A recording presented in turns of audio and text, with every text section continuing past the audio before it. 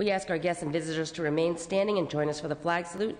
Please join Assemblymember Pan as he leads us in the pledge. Mr. Pan. Please join me as we salute our flag and remember our motto, E pluribus unum, from many one. I pledge allegiance to the flag of the United States of America and to the republic for which we stand, one nation, under God, indivisible, with liberty and justice for all. You may be seated. Reading of the previous day's journal.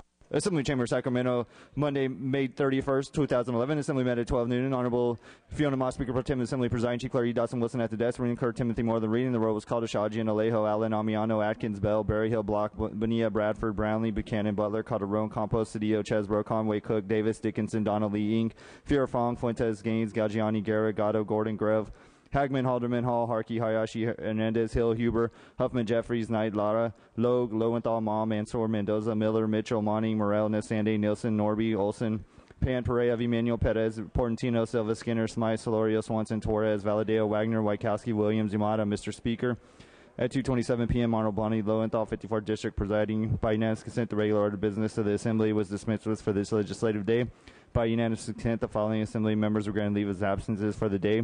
On legislative business, Assembly Member Blumenfield and Carter on personal business, and waiting per diem Assembly Member Fletcher and Furutani and Jones on active military duty and waiving per diem. Mr. Calderon moves and Mr. Hagman seconds that the reading of the previous day's journal be dispensed with. Presentations of petitions, there are none. Introduction and reference of bills will be deferred. Reports of committees will be deemed read and amendments deemed adopted. Messages from the governor, there are none. Messages from the Senate, there are none. Motions and re- resolutions. The absences for the day will be deemed read and printed in the journal. Okay, members, as I mentioned, we are going to start with amendments first. Amendments. If members are not here on the floor, we are going to pass you. Two passes, your, your bill will be going to the inactive file starting today.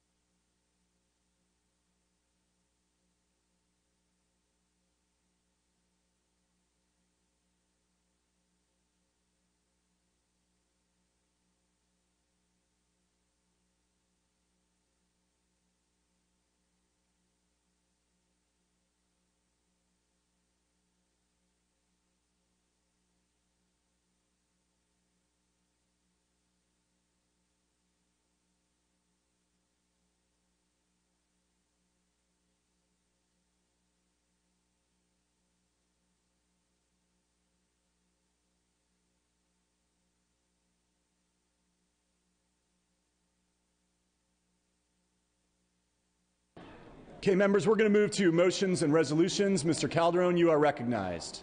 Uh, thank you, Mr. Speaker. Um, Speaker, members, I request unanimous consent to suspend Assembly Rule 118 to allow Assembly Member Perea to have a guest at his desk and a photographer on the floor. Without objection. Also request unanimous consent to suspend Assembly Rule 45.5 uh, to allow Mr. Pan to speak in adjourn in memory. Without objection. And finally, um, pursuant to Rule 96, request unanimous consent to refer SB 301 by Desaulnier from the Housing and Community Development Committee to the Rules Committee. Without objection. Okay, members, we're going to move to business on the daily file, Assembly third reading. We're going to start with amendments, as has previously been announced. First file number we're going to go into is file number 14, AB 631. For purposes of amendment, clerk will read. Assembly Bill 631 with amendments by Assemblymember Ma. Ms. Ma. Thank you, Mr. Speaker. Members, amendments to AB 631 simply clarify the powers of the California Public Utilities Commission as it relates to the regulation of electric vehicle charging stations. Respectfully ask for your aye vote on these amendments. Without objection, we're going to take a voice vote on these amendments. All those in favor say aye. Opposed? Okay, the ayes have it. Out to print and back on file.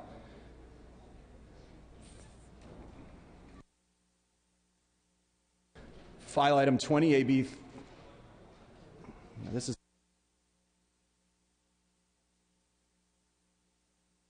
File item 29 for purposes of amendment, ACR 42. Clerk will read.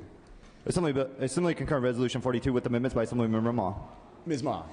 Thank you, Mr. Chair. ACR 42 declares Sunday Eat Local by California Grown Day.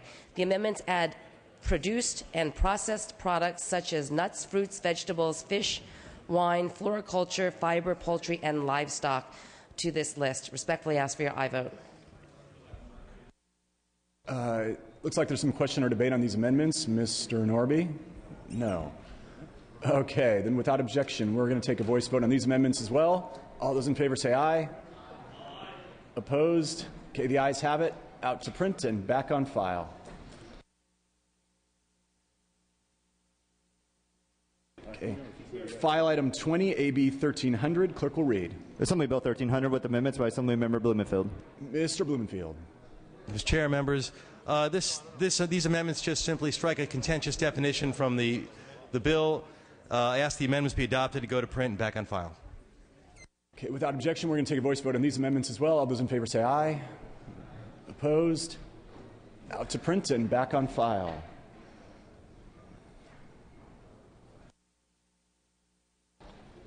File item 33, AB 1219. Clerk will read. Assembly Bill 1219 with amendments by Assemblymember Perea. Mr. Perea. Mr. Speaker and members, thank you for allowing me to present AB 1219, which is intended to provide clarification on the restrictions of the collection of personal identification information during credit card transactions. Um, the amendments that I am proposing today, these amendments narrow the scope of the bill to gas station payment kiosk or fuel dispensers that request a consumer's zip code to protect the consumer. I respectfully ask for your aye vote. Okay, without objection, we're going to take a voice vote on these amendments. All those in favor say aye. Opposed? Okay, amendments are adopted out to print and back on file. File item 38, AB 1027, for, for purposes of amendment. Clerk will read. Assembly Bill 1027 with amendments by Assemblymember Buchanan. Ms. Buchanan. Thank you, Mr. Speaker. AB 20, 1027 will require a public, uh, a public, open, transparent process for local publicly owned electric utilities to establish a fair and reasonable pole, pole attachment rates. These amendments are clarifying and technical in nature, and I urge your support. So without objection, we're going to take a voice vote on these amendments. All those in favor say aye. Opposed? Okay, the amendments are adopted out to print and back on file. File item 45, AB 52, for purposes of amendment. Clerk will read. Assembly Bill 52 with amendments by Assemblymember Feuer. Mr. Feuer. Thank you very much, uh, Mr. Speaker. Uh, these amendments limit the discretion of the regulators, explicitly require regulators to take into account actuarial principles, tighten up the intervention process, limit the time frame in which judicial review can take place, adopt uh, an explicit standard for judicial review, and state that uh, the regulators must take into account costs related to experimental therapies. I urge that the amendments uh, be approved, uh, go back to print and back on file. Mr. Hagman. Thank you, Mr. Speaker. We do object to these amendments and respectfully ask for a roll call vote. So, so members, uh, we're going to do a. Any other questions or debate on the amendments?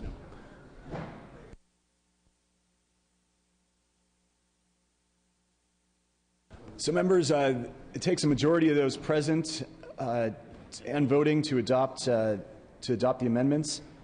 We're going to do a roll call vote. Clerk will open the roll. Mr. Feuer is asking for an aye vote. Mr. Hagman is asking for a no vote.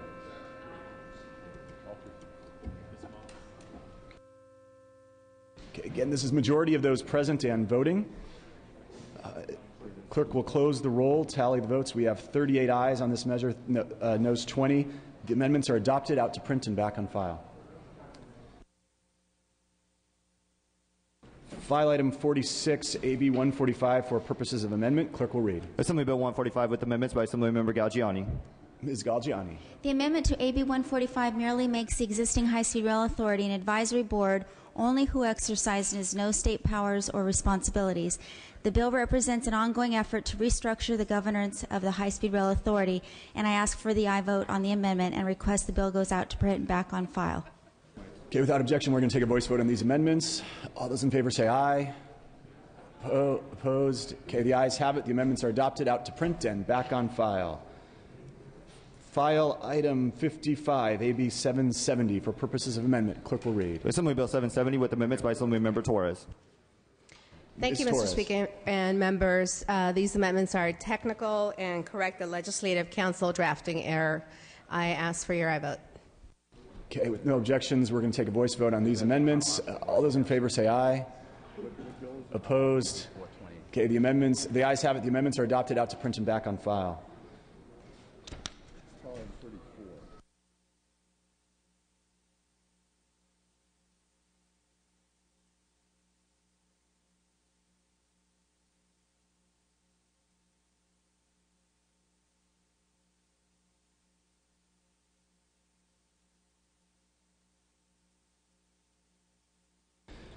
File item 98, AB 372, for purposes of amendment. Clerk will read. Assembly Bill 372 with amendments by Assemblymember Hernandez.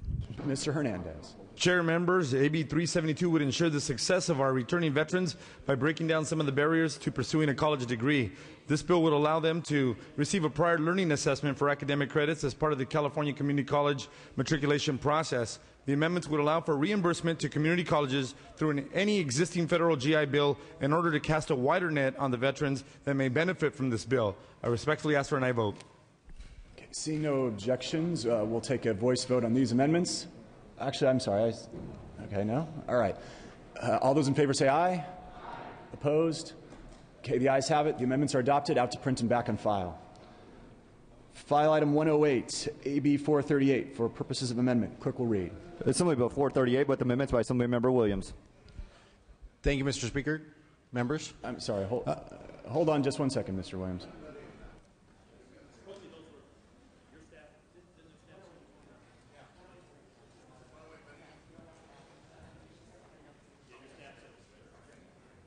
Mr. Williams, you may proceed. Uh, thank you, Mr. Speaker. Good morning. Uh, these uh, amendments reflect uh, the amendments that I promised the local government committee that I would take. Uh, the amendments require that a city or library district that intends to employ a private contractor uh, to operate the city's or district's library shall first require a fair cost analysis, second, proven savings to the taxpayers, third, competitive bidding, proven qualifications of the contractor, declare that it doesn't displace employees, and performance and financial audits, audits are conducted. I ask that these amendments be adopted, uh, the bill be uh, sent to print and put back on file. Mr. Hagman. Thank you, Mr. Speaker. We do object to these amendments and respectfully ask for a roll call vote. Okay, Mr. Hagman has asked for a roll call vote on these amendments. Mr. Williams is asking for your aye vote. Mr. Hagman is asking for your no vote. A majority of those present and voting carry these amendments. Uh, clerk will open the roll. All members vote who desire to vote. All members vote who desire to vote. This is majority of those present and voting. Clerk will close the roll, tally the vote. Ayes 39, noes 19. The amendments are adopted, out to print and back on file. File item 117, AB 210, for purposes of amendment. Clerk will read. Assembly Bill 210 with amendments by Assemblymember Solorio. Mr. Solorio. Thank you, Mr. Speaker and members. I'd like to present amendments for AB 210 uh, relating to local emergency medical service agencies. The amendments further clarify intent language to provide more detail and historical context regarding the current situation. Uh, I ask for your support for the amendments. Seeing no objections, we're going to take a voice vote on these amendments. All those in favor say aye. Aye. Opposed? Okay, the ayes have it. The amendments are adopted. Out to print and back on file.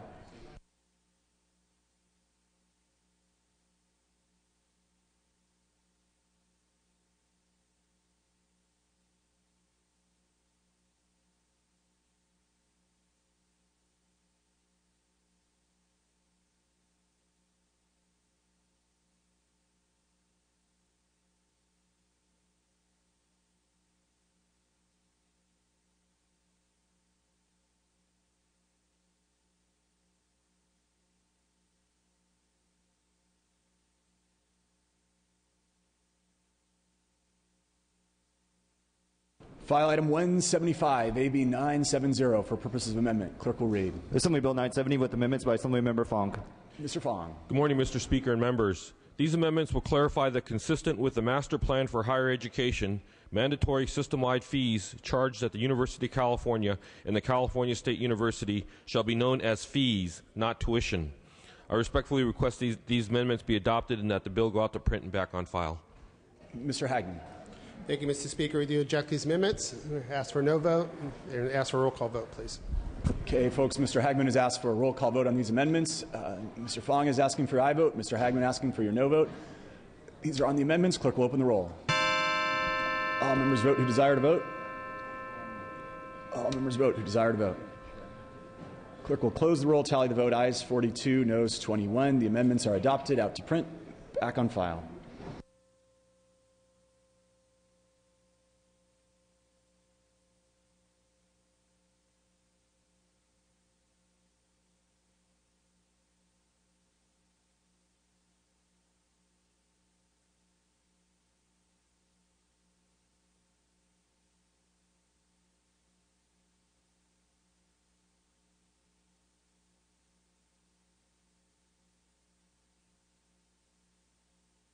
Pursuant to Assembly Rule 77.2, I am re-referring the following bill to committee.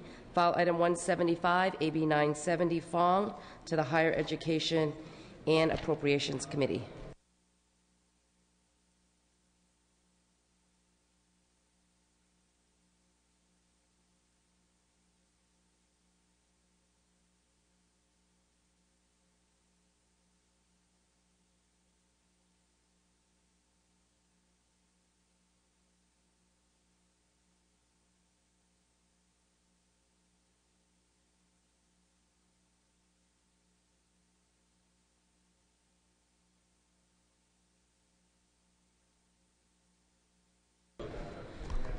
Okay, members, we are going to start at the top of the file, third reading, those members who have notified us that they are ready to go on their bills. File items 12 and 13, pass and retain. File item 15, pass and retain. File item 16, AB 542, clerk will read. Assembly Bill 542 by Assemblymember Allen, an act relating to land use. Mr. Allen. Yes, uh, Madam Speaker, fellow members, uh, AB 542 is actually designed to increase the amount of affordable housing produced uh, in counties. This bill is supported by both sides of the aisle. It is also supported by CSAC. What the bill does specifically is that um, uh, it allows for uh, densities lower than, than 20 units when you're dealing with uh, land that has water or sewer problems. The, the, the land is owned by the county, and uh, or that the county is willing to put in a subsidy to support the affordable housing.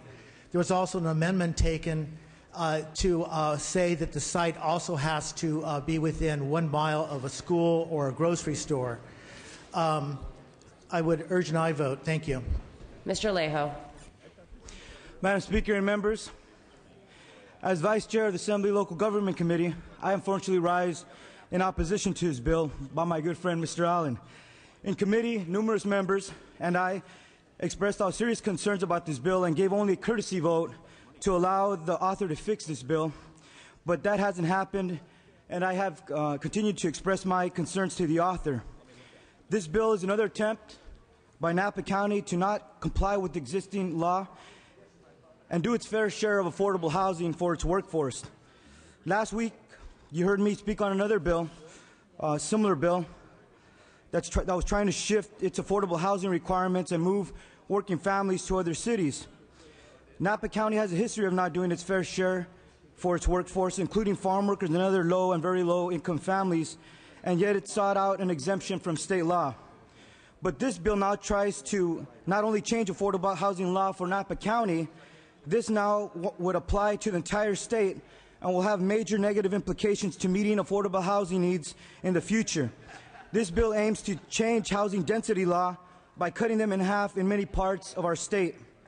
Every city and county is required to meet its fair share of affordable housing as allocated by the Council of Governments and the Housing and Community Development. Those are called RHNA numbers, the regional housing needs assessments. But NAPA has failed to properly plan, and in June 2009, its housing element was found in non-compliance by HCD. A farm worker advocacy group, Latinos Unidos, then filed suit for failing to have a certified housing element. But yet, two years later, it remains non-compliant. And instead of fixing the housing element, they're trying to get out of the lawsuit by changing the law for its next housing element in 2014. Current law requires Napa to build 20 units per acre, and it now wants to bring that down to 10. And where do these housing element um, housing densities come from? Back in 2004, after local governments complained about a lack of objective standards by HCD, that year a group of stakeholders came together, the Housing Element Working Group. It brought stakeholders from local government, from the Council of Governments, profit and uh, nonprofit developers, and affordable housing advocates. These folks to reach a consensus agreement, and what resulted was a Madam Speaker. And what resulted was a major piece of legislation, AB 2346, that created these housing densities. This bill now tries to drastically alter what was a carefully crafted compromise at that time. The Housing Element Working Group is currently st- uh, is still meeting, and it's reviewing how these policies have been carried out, and we should not proceed with this bill without giving them the opportunity to do their work. These densities are needed in order to achieve economies of scale to make sure public subsidies are used efficiently and effectively. We cannot exhaust our limited affordable housing dollars on a few units instead of getting the most um, to meet future housing needs of, for our workforce. Densities are also critical smart growth planning policies that ensure that limited land available for affordable housing will be maximized and it reduces the um, urban sprawl as well. I ask for your no vote on this bill. Mr. Chesbro. Thank you, Madam Speaker. I rise in support of this bill. Uh, one of the problems we have with a state as huge and diverse as California is that a lot of the laws that get passed assume that all, all communities are the same. And of course, we know that's ridiculous. All communities are not the same. And sometimes we have to try to figure out how to make the intent of the law work uh, in, in different kinds of circumstances. And certainly, rural counties, counties that don't have large urban densities, are very different than urban communities. And I believe this bill is trying to make the law more flexible so that we can have good affordable housing, not just in urban areas, but also in rural communities. And so I think the author's intent is good. I think it's a good bill. Uh, I urge your support. Ms. Atkins. Thank you, Madam Speaker. I rise in support today of AB 542. And to add to what to Ms. Mr. Chesbro has just said, I think I would say, as a longtime affordable housing advocate, it's important to emphasize that housing elements need to be able to work on the ground and that one size does not fit all, and it hasn't worked in Napa County. Scale and density are important when, building, when building affordable housing projects. If you don't do it appropriately, communities will not continue to support affordable housing projects. What works in urban communities like San Diego, where I have voted to approve thousands of higher density units and projects as part of a city council. It doesn't work in some of the rural communities. And I think what we have to do is to provide the tools to allow jurisdictions to meet their regional housing needs assessment numbers. 542, AB 542 simply gives them the ability to meet their numbers and aims to get more affordable housing actually built, not just on paper, actually built in California. And today, that's why I support this, and I would urge an aye vote. Mr. Huffman. Thank you, Madam Speaker. Question of the author. Without objection. Mr. Allen, would this bill in any way change Napa's housing target, affordable housing target?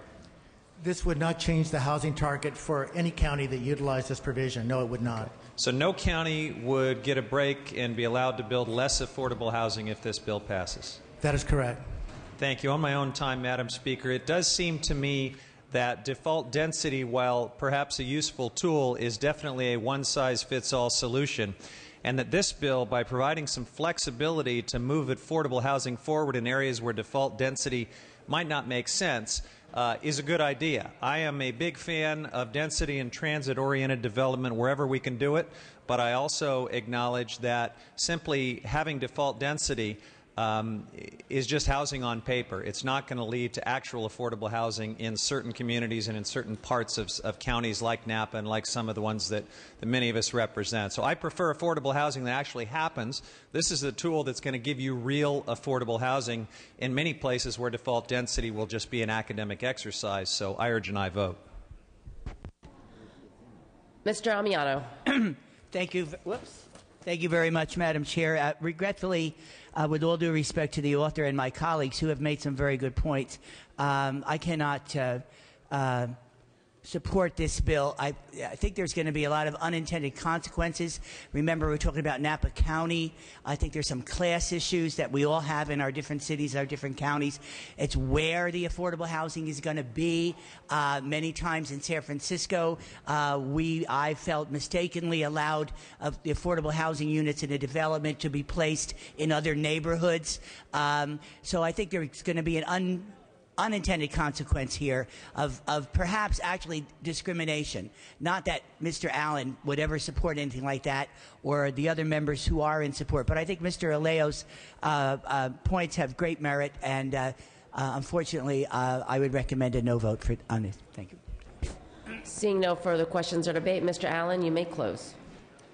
Yes, with um, all due respect to the folks who are opposed to this bill, uh, I have taken amendments from the opponents. aye will continue to work with them as it goes over to the Senate side. I truly believe this will result in more affordable housing being built, not less. Uh, and I do um, take note of the concerns about, about discrimination. And I think this is actually going to result in more affordable housing actually being built as opposed to being on paper. I urge your I vote. Thank you. Okay, clerk will open the roll. All members vote who desire to vote. All members vote who desire to vote.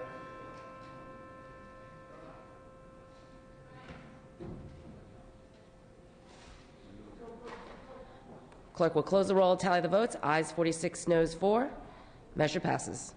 Okay, um, I forgot to do business on the daily file, second reading. Clerk will read. Assembly Bill 54, 528, 93, 1090, 1195, 506, and Assembly Bill 51. All bills will be deemed read and amendments deemed adopted. Also, on behalf of Assembly Member Perea, we would like to welcome his father, Mr. Henry Perea, who is on the um, Fresno Board of Supervisors. He will be joining him at his desk this session. Mr. Henry Perea, Sr.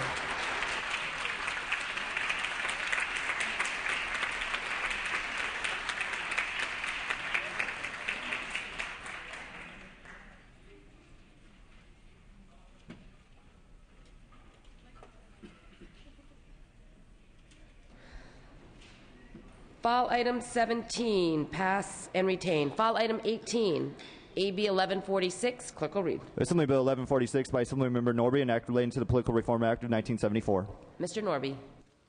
Thank you, Madam Speaker. AB 1146 updates California election law so as to require all contributions of $200 or more to be reportable as to name, address, and occupation. Now, this amount has not been updated since it was originally set over 35 years ago and aligns California to the federal standard, which is also $200. So it's a clean up federal state conformity bill. It has no known opposition. It's been endorsed by the California Political Treasurers Association and passed through the Elections Committee without opposition. And I ask for your aye vote. Seeing no further questions or debate, clerk will open the roll. All members vote who desire to vote. All members vote who desire to vote.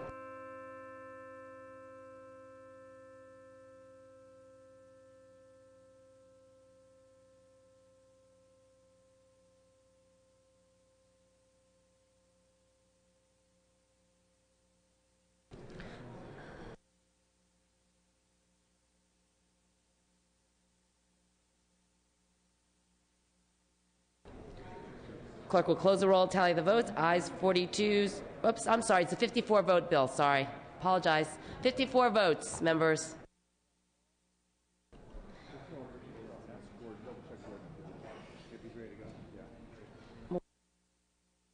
Mr. Norby moves the call.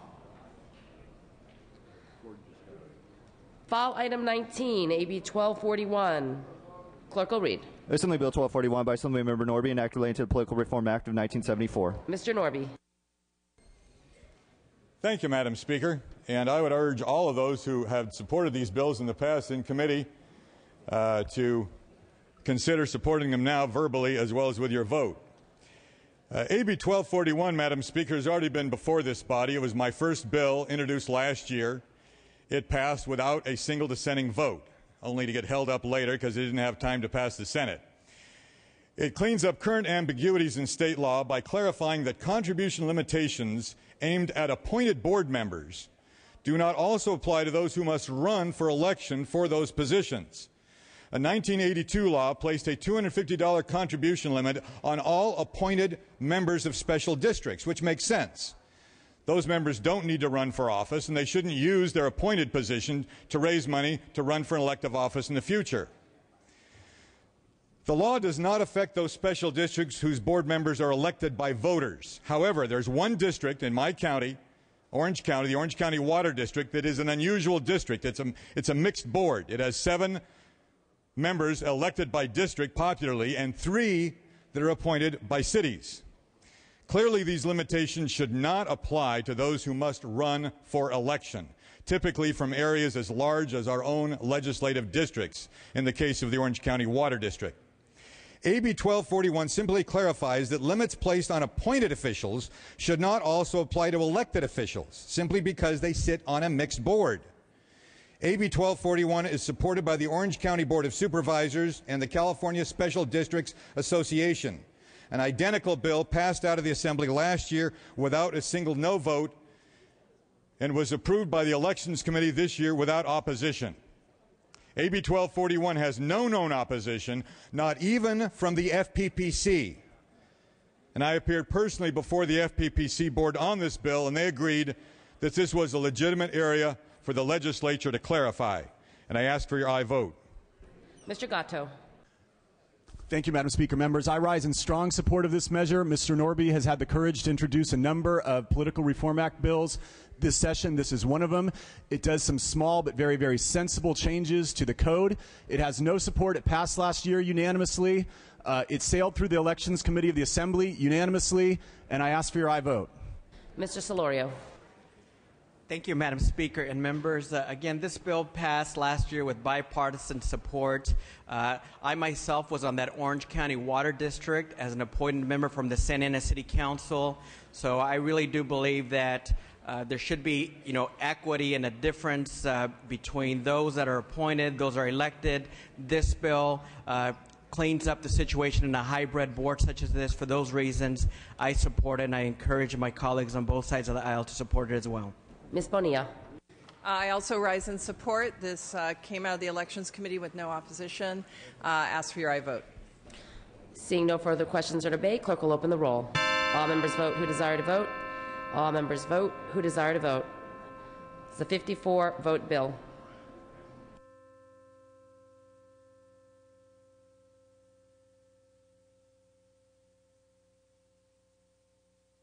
Clerk will close the roll, tally the votes. Ayes 55, noes 4. Measure passes. File item 21, pass and retain. File item 22, AB 910. Clerk will read. Assembly Bill 910 by Assembly Member Torres, an act relating to local planning. Ms. Torres.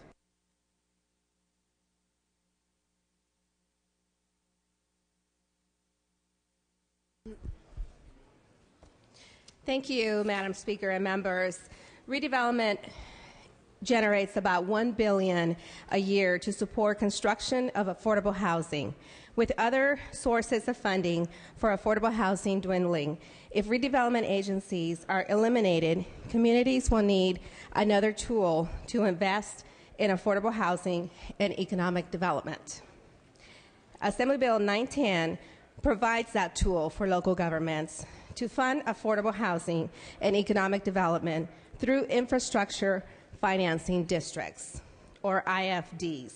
Unlike redevelopments, IFDs do not divert property tax from schools and require it requires members, local governments, to agree to the property tax shift. Assembly Bill 910 deletes the requirements that two thirds of the voters in a community approve the creation of an IFD. The two thirds vote requirement can be burdensome and isn't necessary because IFDs do not result in a property tax shift away from schools. Also, local governments must agree to opt. They must agree to opt into an IFD. I ask for your aye vote. Mr. Knight. Thank you, Madam Speaker and members. I rise in opposition to this bill. You know, IFDs were for the uh, property tax revenues or to finance uh, infrastructure, not low-income housing. This is a significant policy change because these districts were not originally created to fund this, this housing. The IFDs were made for construction of levees and water supplies, improving water delivery, school construction, highway construction, and court facility construction. This is a change in how we're going to do these things, and I ask for a no vote. Mr. Norby. Um, First of all, Madam Chair, the idea that government needs to subsidize low income housing, I think, is increasingly becoming obsolete. Housing prices have fallen dramatically throughout the state and throughout the country. The market is making adjustments which will make housing more affordable to the next generation than it was to our generation. At the same time, I'm not sure how these IFDs will be financed because I don't see that the school districts, the special districts, or the county will ever allow uh, their tax increment to be voluntarily diverted to these IFDs, which in that sense makes them better than current redevelopment agencies where the money is forcibly taken from education. Uh, so at least it's an improvement in that regard, but I still think that the voter approval should be required. Seeing no further questions or debate, Ms. Torres, you may close. Thank you, Madam Speaker and members. Um, with respect to my colleagues on the other side that have spoken um, against uh, this bill, um, Mr. Norby, while I agree that housing prices have gone down, so have salaries. A, um, a person with a master's degree in my district is right now currently earning just a little above minimum wage. So um, that argument um, is off the cliff. This bill is about local control. This bill is an opt in measure.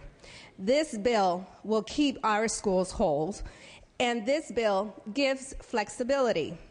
If we truly believe that local government, that our local elected officials can do right by our communities, and if they don't, we can vote them out. The residents can vote them out.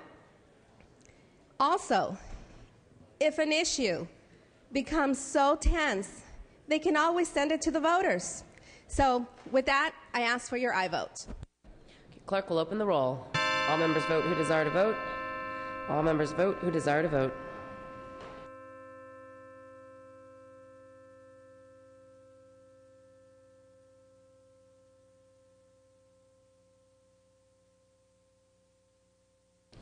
Clerk will close the roll, tally the votes. Ayes 42, noes 26. Measure passes. File item 23, AB 1158. Clerk will read. Assembly Bill 1158 by Assemblymember Charles Calderon, an act relating to deferred deposit transactions. Mr. Calderon. Yes, uh, Madam Speaker, members, uh, this bill relates to deferred deposit transaction, which, which would increase the maximum uh, loan that can be provided from 300 to 500. Ask for an aye vote. Mr. Dickinson. Madam Speaker, members, uh, I regretfully uh, rise to uh, oppose this bill. It would cause those who take out payday loans to be subject to even more debt and, and greater risk. We know, we know that already those who use this form of lending may take as many as 10 loans a year, and we know the default rate is extremely high. Raising the limit will even exacerbate more the indebtedness of those least able to afford it. We also know that those such as women and minority community members are the most at risk of falling into default as a result of the use of these loans. While they may be necessary under limited circumstances, we ought not to be expanding the opportunity of those who are most vulnerable to find themselves even further in debt. I would request respectfully a no vote. Seeing no further questions, uh, Ms. Atkins. Thank you, Madam Speaker. Um, I rise today in support of this bill, and I uh, thought long and hard about whether I would stand up and speak to this. So many of the organizations that I believe in actually have taken, or some of the organizations have taken a position in opposition. So I just want to put a little bit of a, a face on, on what a, a measure like this means. You know, I grew up in a family that, that was hardly even working class. We were very poor. And when I talked to some of the people or had the information given to me about why it was important to oppose this bill, I was told a couple of things. One, these individuals should be encouraged to use banks and get loans at banks, or maybe credit cards, or borrow money from their families. You know, that really wasn't an option for my family. And the last, the last example they gave was maybe pawn some stuff. So, you know, as someone who grew up uh, in very difficult circumstances, when I see that there is a tool available to working poor people who have no other options, I beg to differ with some of my uh, organizations that I believe in and support wholeheartedly. And, and it's, uh, it's a chance to, to, for me to stand up and share such a personal story, but I will just say, you know, if, if my family had had the opportunity to have a credit card, which is a, a perfectly viable tool. But when you're not able to make the payments on time and you continue to have that interest build, that's a problem. When banks are not able to loan money to you because you are a high risk, that's a problem. When you can't borrow money from family members because they are equally working poor are in poverty, that's a problem. So, where do people go? This is a tool. It's, it's something available to people that have no other options. And I would just say to think about that. And because I've lived the experience, and to this day, some of that stuff that my family had to pawn, I will never have back. And some of those things are not worth a great deal of money, but they meant the world to me. And so I would ask you to think about the other piece of this. And if there are tools we need to find to help working poor people make it in this day and age, then I challenge us to find those tools. But don't take away one thing available to people that have no other options. So aye would rise today in strong support of this and ask for an I vote. Mr. Feuer. I rise in opposition to this bill. And I do so uh, recalling the experience that uh, Speaker Bass and uh, a former colleague of ours and I had when Speaker Bass was trying to move in just the opposite direction, given the community she represented here in this floor, on this floor. Payday loans at $250 uh, with a cap, the current cap, already constitute a major source of problem among low income borrowers throughout the state of California the amount of interest, we all know the interest rates are astronomical on these loans, hundreds of percent. To raise the cap is to perpetuate a cycle that devastates families in California. I urge you to join with major newspapers like the Los Angeles Times in opposing this legislation because of the cycle it perpetuates and because of the harm done to low income consumers who are required to pay interest rates that all of us should consider utterly unconscionable. Mr. Cedillo. Madam Chair, members, I want to attach myself uh, to the comments of, of Ms. Atkins. This is really a practical question. While we may share many of the concerns that are articulated, the fact of the matter is we are addressing real concerns that exist in our communities.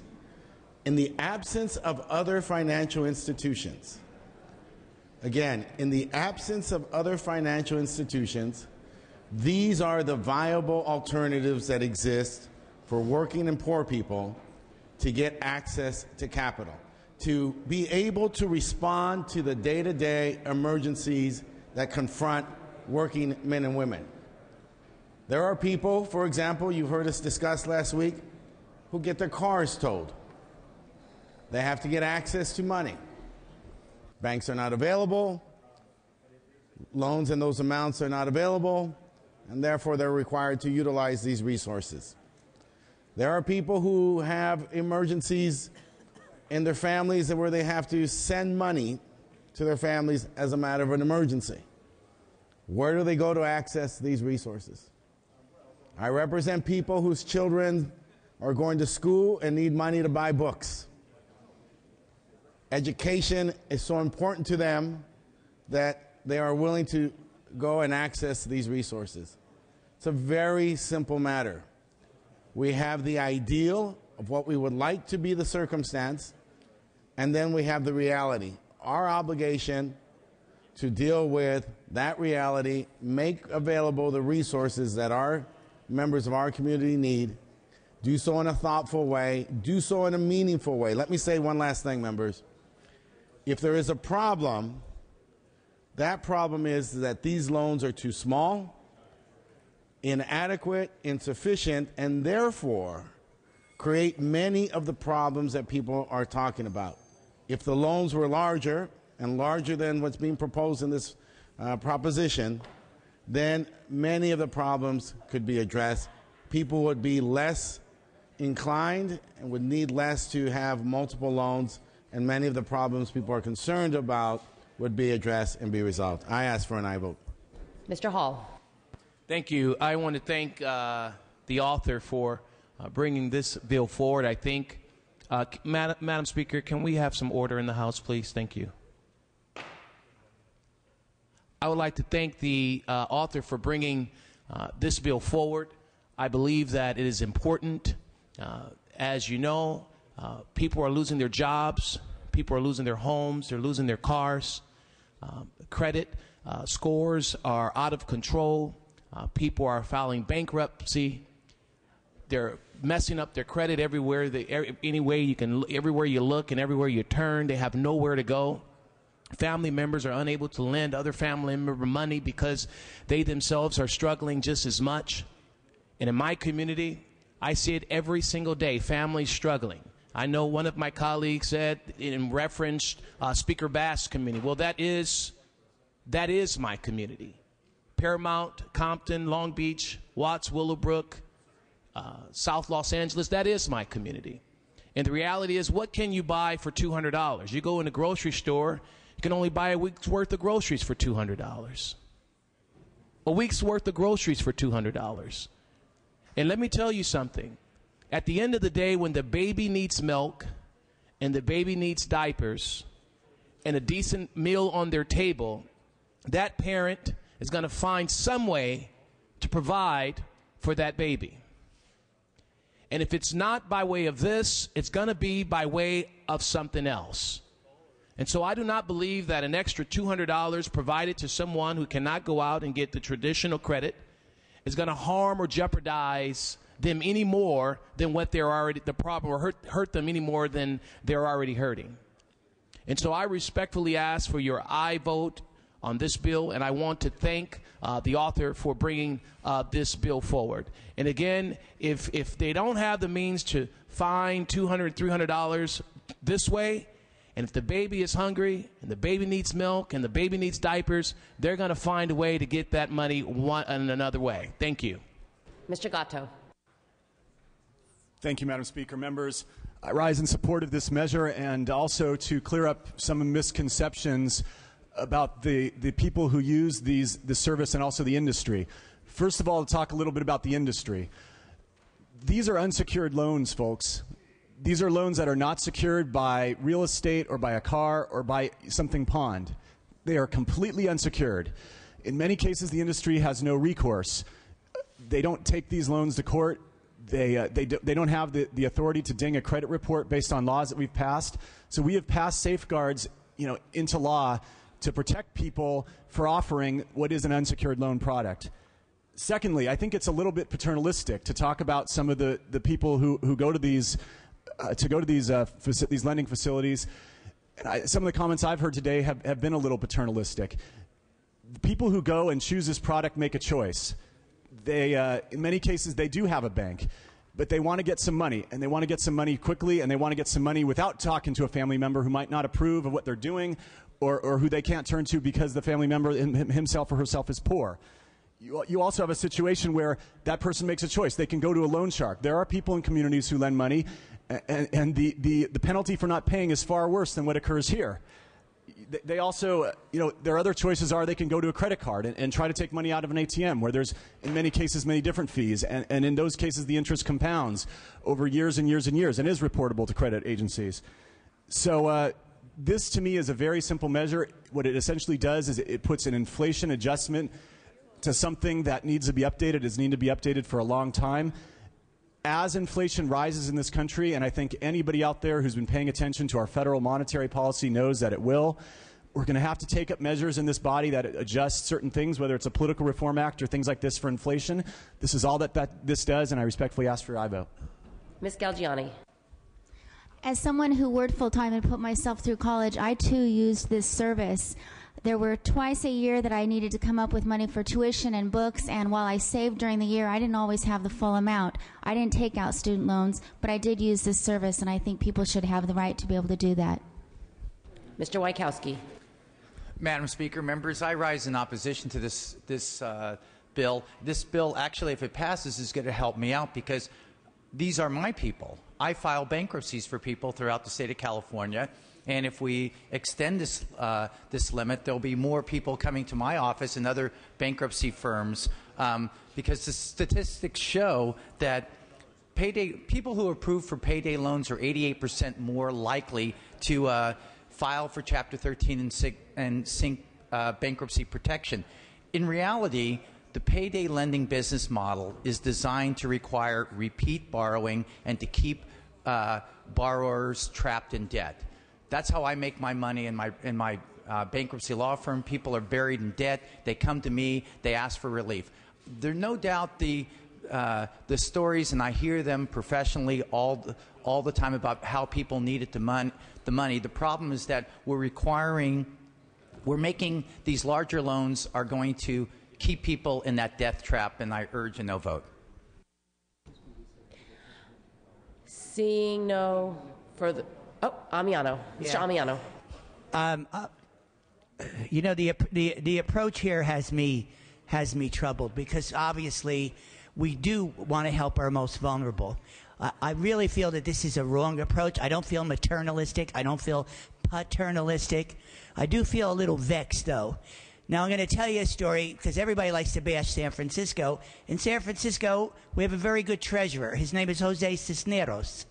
And with him, we developed a program with many banks and many credit unions around this issue to cut down on the use of payday loans. And it has been successful. So I would encourage you not to be paternalistic or maternalistic, but to be mature about this issue and work with your local officials. Because you don't can't put lipstick on a pig and not call it a pig. This is a bad deal.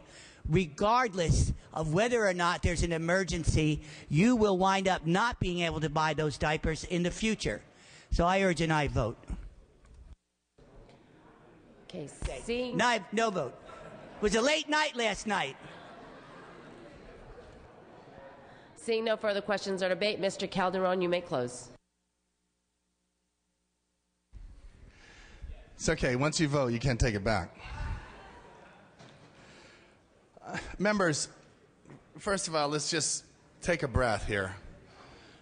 What does this bill do? It simply increases the total amount of a loan from 300 to 500. A loan that you get, but you have to pay a fee. You have to pay a fee. Fees like we impose on college students, fees like we impose on citizens who want things from DMV and others, these are fees.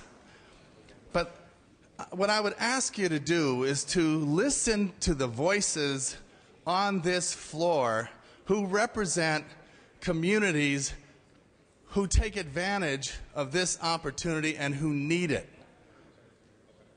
People who are from East Los Angeles, myself included, or from Watts, or from other parts in San Diego and in the Valley. These people have no alternative. They have nowhere else to go. The only place they have to go for a loan is to the internet, which is unregulated and which will rip them off, or if they are desperate enough, to somebody else who is getting out of their car. People do desperate things in desperate times. You know, I, I'm talking from a standpoint of where you live and how you survive, not as a philosophical idea, not as a political idea. I, I remember I desegregated a school in the Centinela Valley Union High School District as a younger lawyer because the Legal Defense Fund, I won't mention which one it was, wouldn't take the case because their policy was they don't close the minority school for any remedy. And the only remedy that would solve things would be to close um, the minority school or the only school that was segregated because it was right under the flight path of runway 25 left in Los Angeles. You couldn't hear anybody from a distance of 10 feet when one of those planes was coming over. They didn't have college prep courses. They didn't have shop courses or job courses. They didn't have anything like that. And that school district voted to keep that school open and close down another school rather than, than to integrate those people. And the, and the Legal Defense Fund wouldn't take it because it was not their policy. Well, I'm not talking policy over here, and I'm not talking politics, and I'm not talking about feel good stuff that you can discuss or others can discuss at a dinner table and make themselves feel good like they think they're helping people. This is about survival. Make no mistake about it. And if, as far as loans go, this is the best loan you can get because those lenders, if there's a default, those lenders cannot report this to the credit reporting agencies. They are prohibited by law. And then they don't collect because it's not worthwhile going after that small of amount of money. And so while there might be some harassment from the standpoint of pay me, pay me, pay me, that's about it. Try not paying Bank of America. Try not paying Wells Fargo or Citibank or any of those. And you want to talk about debt traps, take a look at your own credit card bills. And the purpose of every loan and every institution in this country is to keep us in debt and to keep us paying interest. That is the whole purpose of a loan. Uh, let me close, Madam, uh, Madam Speaker. Let me just close by saying um, I, I can remember, I mean, I grew up in East Los Angeles, and I can remember when one of my brothers had asthma and had an asthma attack. We had no money, no money to call a cab to get to the hospital. And my mother carried my son for a mile and a half in her arms to the nearest center. That's what we have to do to survive when we just don't have the money or the means to survive. 30 seconds. So you can you can talk about fees, you can talk about policy, you can talk about whether I'm a good person if I vote for this or not, but just listen to the voices who need the support and need the money. They need to be able to survive. I ask for an aye vote. Clerk will open the roll. All members vote who desire to vote. All members vote who desire to vote.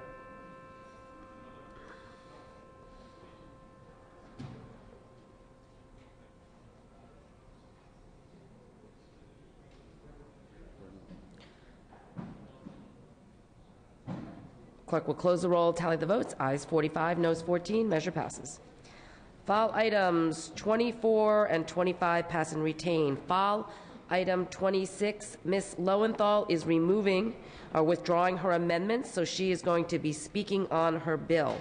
File item 26, AB 615. Clerk will read. Assembly Bill 615 by Assemblymember Bonnie Lowenthal, an act relating to high-speed rail. Ms. Lowenthal. Thank you, Madam Speaker. AB 615 would align the land procurement responsibilities of the California High Speed Rail Authority to other state entities that buy properties, such as Caltrans, the State Lands Commission, the Department of Water Resources, and others. AB 615 also affords additional protections to the public whenever properties are procured through the use of eminent domain powers by ensuring that the authority's board of directors approve any purchase of property by eminent domain upon the request of the Department of High Speed Trains.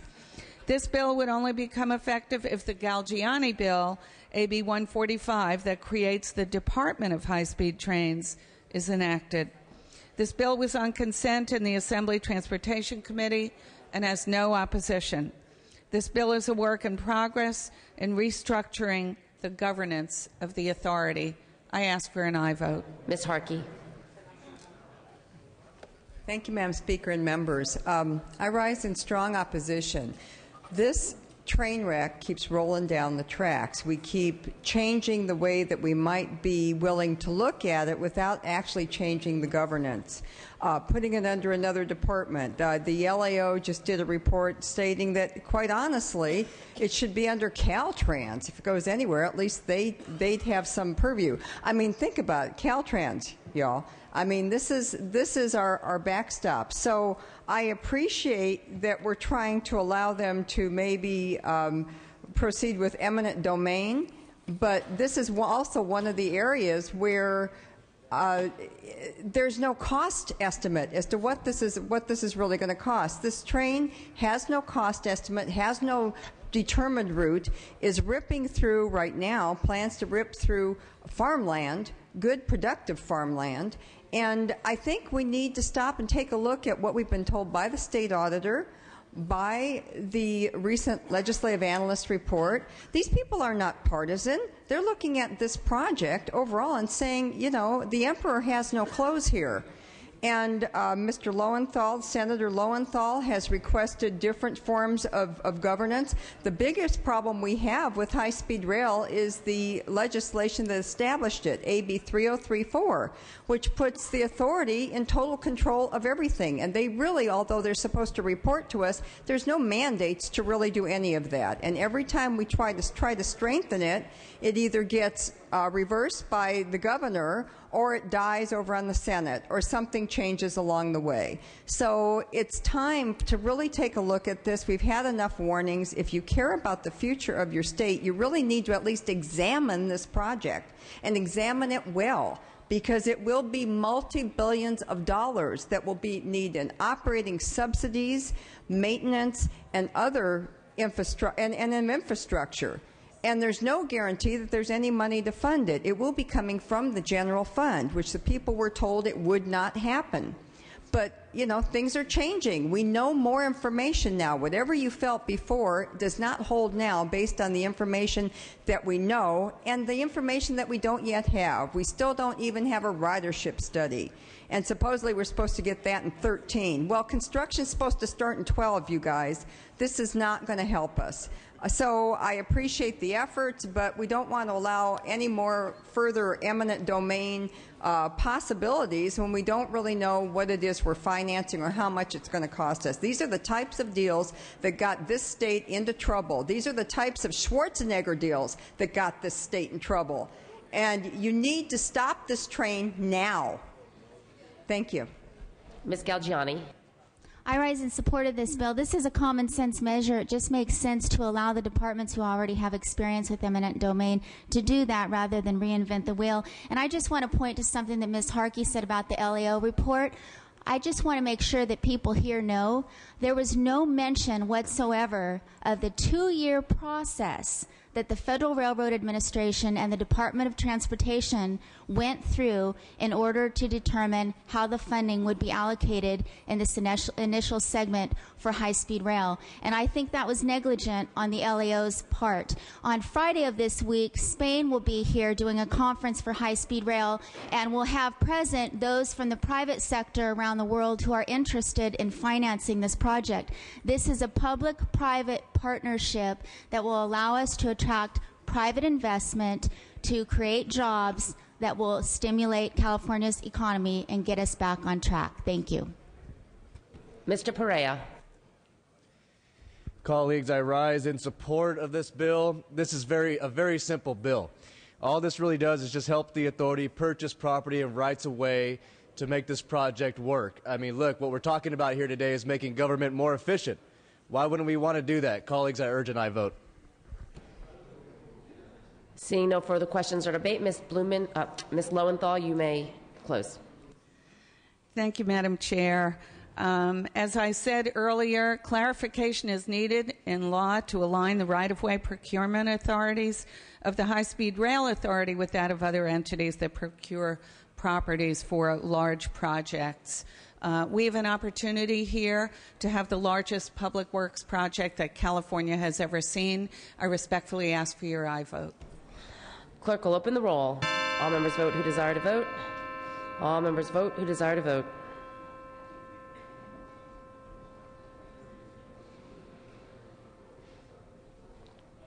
Clerk will close the roll, tally the votes. Ayes 51, noes 14. Measure passes. File items 27 and 28 pass and retain. File item 29 was dispensed with. File item 30, AB 952. Clerk will read. Assembly Bill 952 by Assemblymember Jones, an act relating to high-speed rail. Mr. Jones. Thank you, Madam Speaker and members. I rise to present AB 952 this morning, dealing with the high-speed rail. The High Speed Rail Authority is one of the only authorities in the state of California that the members of the authority are not limited uh, by the gifts limit. This bill merely uh, presents their gifts under the uh, purview of the Department of Finance. AB 952 will prohibit board members and staff of the authority from accepting any gift and also forbids any entity with a contract or seeking a contract with the authority from making gifts to board members, staff, or any member of their immediate family. The authority itself may receive gifts, but this would be subject to written approval of the Department of Finance. The bill also imposes a three year ban on lobbying the authority for former members and staff. AB 952 enjoyed unanimous support in two policy committees and has bipartisan co authors. I ask for your aye vote. Mr. Norby. Question of the author. Without objection. Is this your first bill? Actually, no, it's not. I, I was blessed to have one leave this floor on consent three weeks ago. Okay, I was given misinformation by a colleague. Your second bill, then. Good luck with it. Thank I you very much. It. It's a common sense measure with no known opposition. Seeing no further questions or debate, clerk will open the roll. All members vote who desire to vote. All members vote who desire to vote.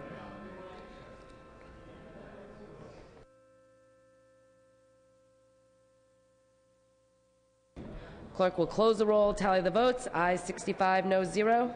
Measure passes. File items 31 and 32 pass and retain. File item 33 has been dispensed with. File item 34, AB 420, clerk will read. Assembly Bill 420 by Assemblymember Davis and others, an act relating to redistricting. Mr. Davis.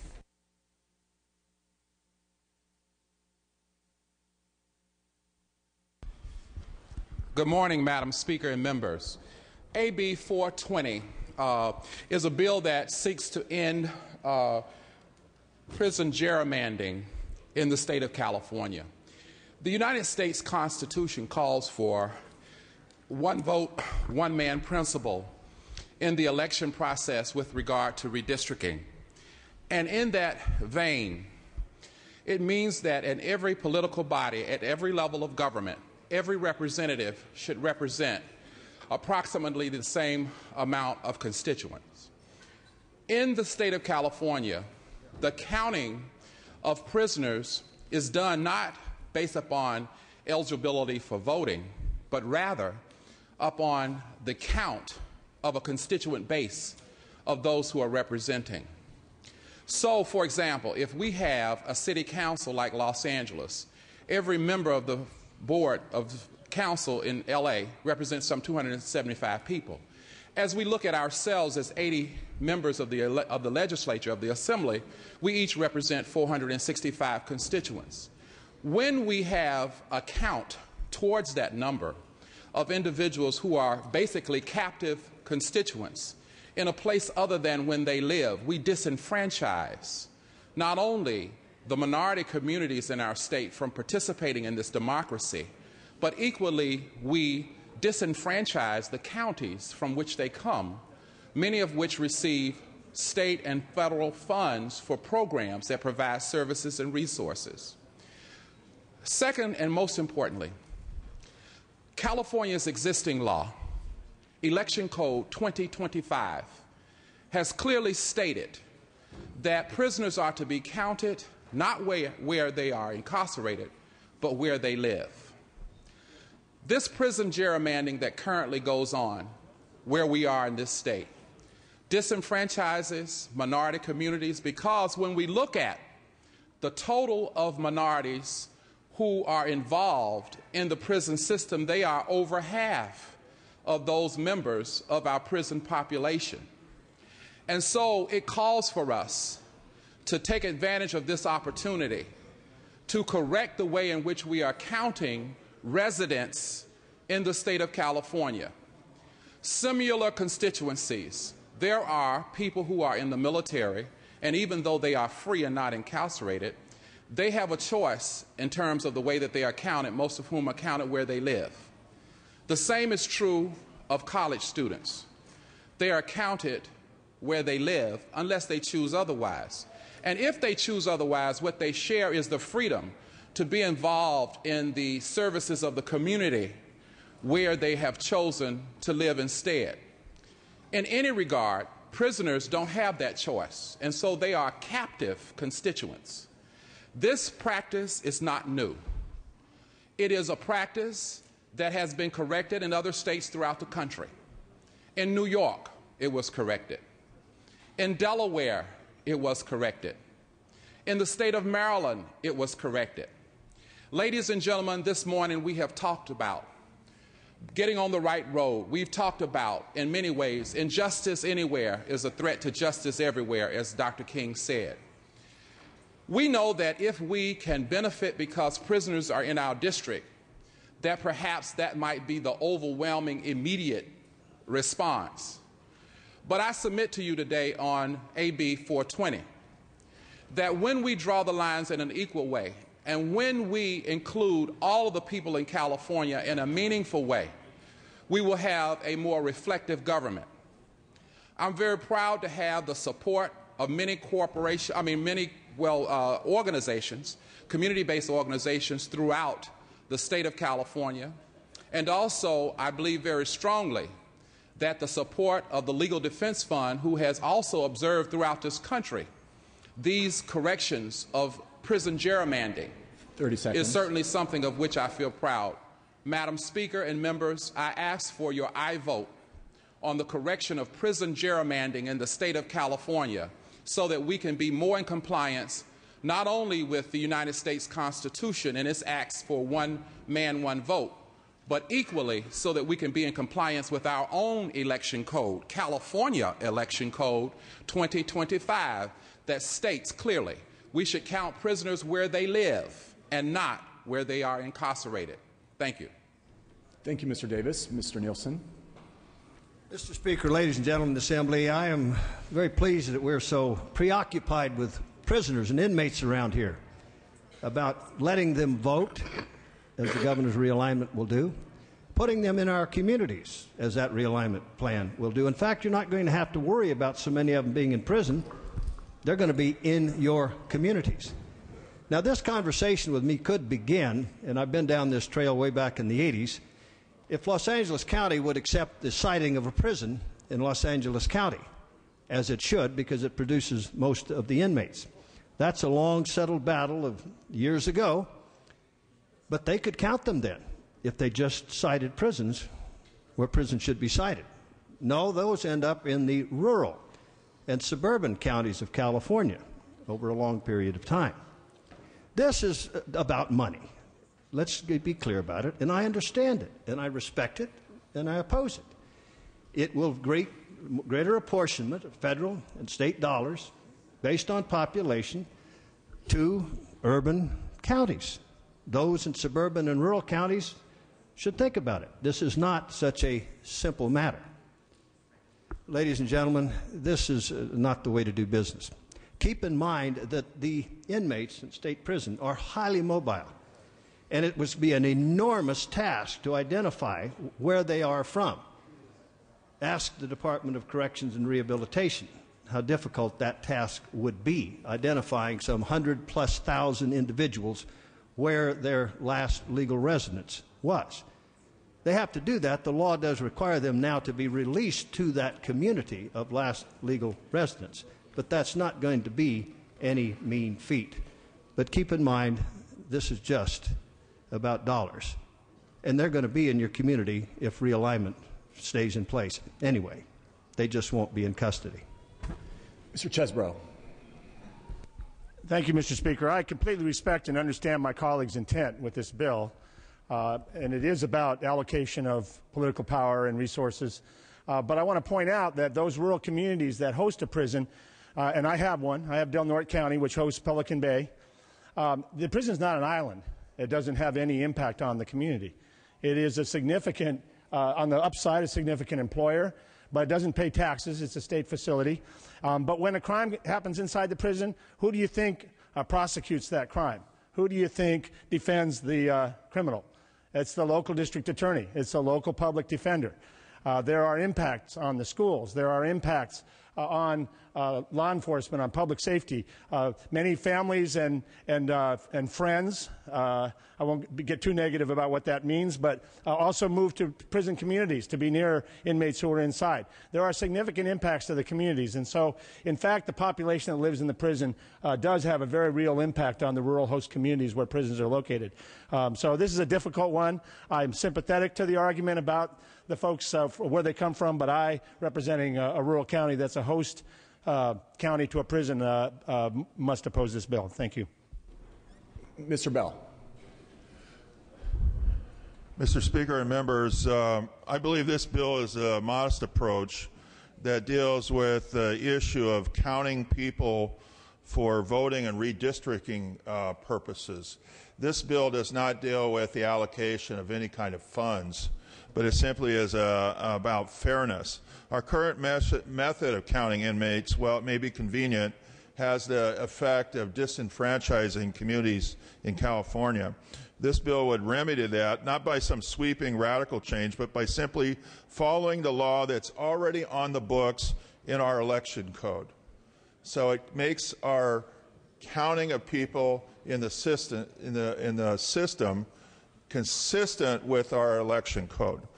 And I think the author has uh, prudently uh, chosen to have this bill take effect in the next cycle of, uh, of a census rather than the current cycle, which is all but, all but complete, so it's going to be affecting the next cycle.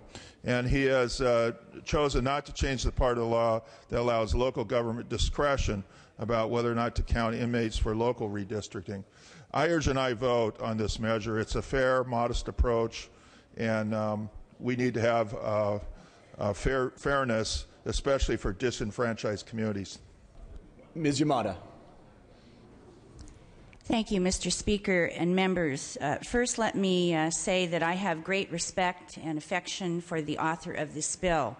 Uh, and I understand, as did my colleague Mr. Chesbro express, uh, the heart, uh, uh, the, the, place in his heart that this bill is coming from.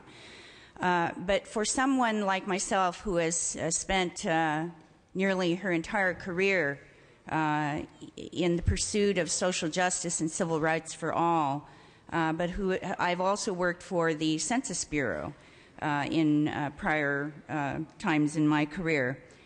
Um, and you know what we're being asked to consider here is a fundamental change uh, in the way in which uh, the foundational census data collection is conducted. Um, you know, I'm also an advocate for prisoners' rights, so you know this is a complex issue.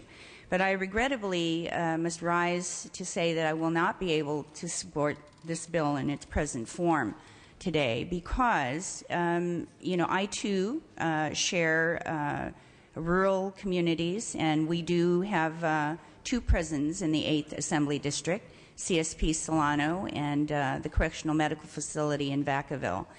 And, you know, this, this bill speaks to uh, trying to solve um, a problem of representation and impacts in the political system that prisoners are already removed from um, for sometimes reasons good and sometimes reasons not so good and not so valid. But I do not think that it is the appropriate place for the legislature uh, to weigh in on uh, such a matter in particular because uh, we are actually not supposed to be involved in uh, the Citizens Redistricting Commission. That is what the Citizens Redistricting Commission, um, as established, uh, has, has clearly drawn a, a, bright line for us that we uh, are not to be involved in it, not to be engaged in it.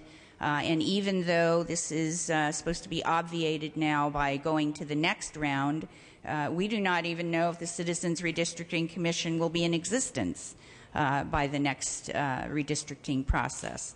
So, for all of those reasons, that this really speaks to undermining the foundational principles currently that the census is, you know, is engaged in, that it, how prisoners are counted uh, in the initial counts uh, in the process in, in which the population, seconds. thank you, population counts are gathered. Uh, and because there are local impacts uh, that prisoners do, um, do visit upon the communities in which they reside. Uh, I must respectfully ask for a no vote today on this measure as written. Mr. Bradford. Ms. Mitchell.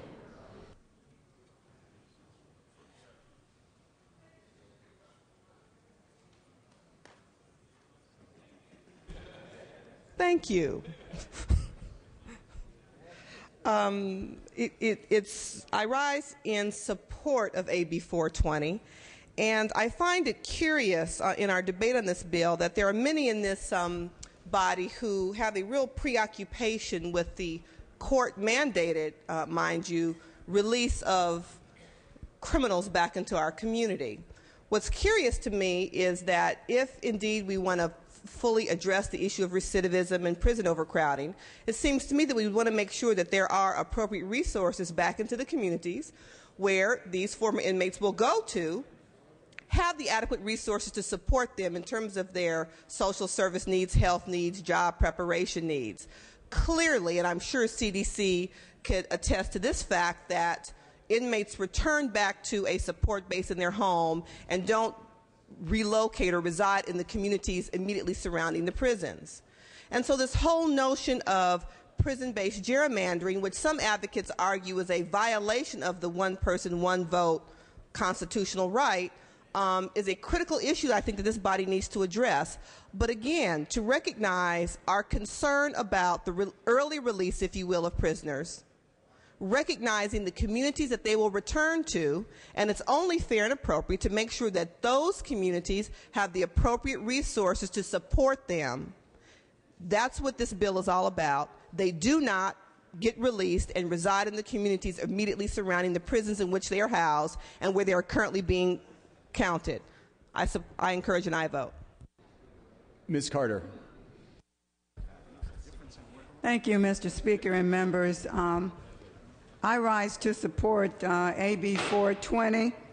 Um, as a matter of policy, we should be counting inmates based on their legal residence as is defined in our election code, not based on the census practice of count them where you find them. I support this bill and I ask my colleagues to support it as well. Thank you. Mr. Fong. I rise to support this bill. I support it in the elections and redistricting because it's a good social justice uh, bill that should be counted where they live. Thank you. Mr. Logue. Thank you, Mr. Speaker. Uh, I rise in opposition to this bill as Vice Chairman of Elections. It's interesting that the author uses the argument, who I have great respect for, that the students can basically go to college, such as in Chico, it's Chico State, and vote, and then move back home to where they permanently live. But they also, but they want to change the rules when it comes to prisoners. Uh, I have 10,000 prisoners in uh, High Desert in Susanville, and I've got to tell you something. The definition of residency is where one presently lives. So the bottom line is this: is that um, if they're going to be counted where they live, then that's where they should be counted for as far as their, their residency. So I oppose this bill. Mr. Cedillo. Members, there's a very practical reason why we should support this proposal. And it goes back to the reentry of prisoners back into our communities. If you look at the work, for example, of Sheriff Baca in Los Angeles County, you'll know that there's a lot of efforts that are ongoing to create a bridge to move incarcerated individuals back into their communities. But those efforts require the appropriate resources, and you cannot get those resources unless you have the right and accurate count. It's a very practical question. It's a, a, a matter of a common sense response uh, to this situation, and I ask for an aye vote. Mr. Bradford. Thank you, Mr. Speaker. I too rise in support of AB 420. This is a common sense approach, as my colleagues have stated who are supporting this bill. It's somewhat ironic that I hear from the individuals who have prisons in their district and their passion and desire to count these individuals as residents in their community, but as soon as they're released, they don't have the same passion and desire to house them in their communities. They want to quickly ship them back off to their home communities, home cities. So it only makes sense that they are counted as this author is trying to do at their place of residence, where they origin- originated from, and not in a place where they're incarcerated. Again, if the passion and consideration and the resources once these individuals were out were afforded them in these communities in which they were housed as prisoners, I would be opposed to this bill, but that is not the case. So I support, strongly ask for a aye vote. Mr. Swanson. Mr. Chairman, Mr. Speaker, uh, thank you so much. Uh, and I, I, uh, I, acknowledge Mr. Davis's uh, effort here as a very sensible effort. First of all, let's just slow down a second to evaluate what's being asked. We have a problem in the state of California with our recidivism rate. Communities that receive the formerly incarcerated have the principal responsibility to assist us in that effort. Not by choice, it's where these uh, formerly incarcerated are released. The census, and an accurate census, will help those communities receive resources. And those resources find their way into helping us with this solution. It is a simple matter of resources. It is the proper thing to do, and we should, and we should embrace this bill because, in the long run, the success of these communities where, uh, where, uh, where many of these inmates are, are released uh, will save the state money in the long run uh, and help us with our problem that is represented in our current crisis uh, facing our system. And so I think that this is a logical approach, and I'd ask my colleagues yes, it is about resources, but I would argue with you that in the long run, these resources being in those communities where these individuals are being released serves a greater and long range purpose in our strategy on successful reentry. Mr. Mendoza. Uh, not to be too repetitive of what the uh, previous speakers have said, but I do rise to support of this measure. I want to thank the author for, for taking the lead on this issue. Uh, I, I, I wish this would have been passed last year to ensure that the population would be reflective in this year's redistricting, but uh, never too late. I think we still have the opportunity to do so, and I appreciate your, your efforts. I urge an aye vote. Seeing no further questions or debate, Mr. Davis, you may close. This bill is about social justice. Injustice anywhere is a threat to justice everywhere. Every member of the state assembly, in particular, is supposed to represent 465,000 constituents. Every 10 years, those constituents change anyway, based upon redistricting. But the tr- truth of the matter is, we have some members that have a, a lot number of uh, residents that are captive constituents that really live somewhere else. One district in particular, out of the 465,000, they have around 40,000 of their constituents are prisoners. And then what is the question? The question is are we currently following California law? Ladies and gentlemen, I'm not creating a new law, I'm compelling us to existing law. Existing law, California Election Code 2025, clearly states that the intention of the legislature to count for the purpose of redistricting prisoners is to count them where they live, not where they are incarcerated. That's what this bill seeks to do. The voting status of an individual is not the most important issue here. We have children who are part of the 465,000. We have people who are mentally incapacitated who are part of the 465,000. We have many people who may not be able to vote. That is not the dominant factor here in the counting for redistricting. It is to count 465,000 people and to do it to the end that the California Constitution requires. It is already stated very explicitly. Martin Luther King said in my closing that the measure of a man is not where he stands in times of comfort and convenience, but rather it is where he stands in times of challenge and controversy. Now might be one such time, but at the end of the day, injustice anywhere is a threat to justice everywhere. I would proudly say that we have a responsibility, as the Legal Defense Fund says, who is a sponsor of this bill. We have a responsibility to defend, to educate, and to empower. And I hold those core values personally.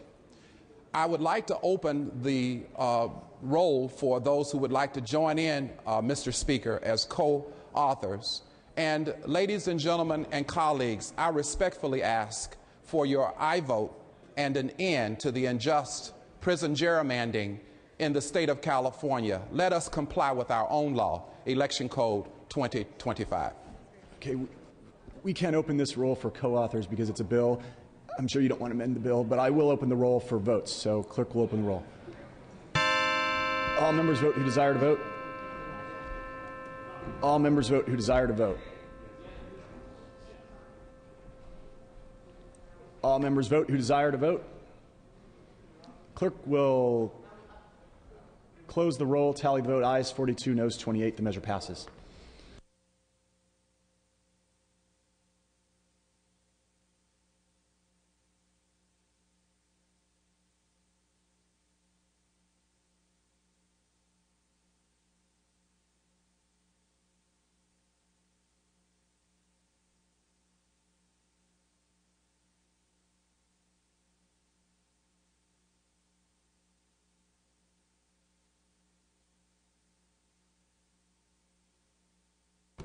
Okay, members, we're going to take one bill out of order. File item 92, AB 131. Clerk will read. Assembly Bill 131 by Assemblymember Cedillo and others, an act relating to student financial aid. Mr. Cedillo.